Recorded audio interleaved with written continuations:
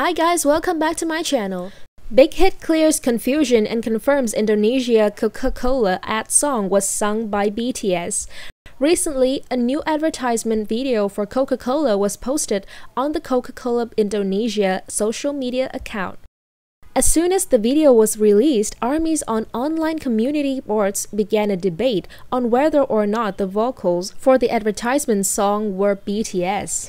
It looks like armies have found BTS's vocals first, even before any confirmed news came out. Some fans even took the time to remove the music from the video in order to hear the vocals better.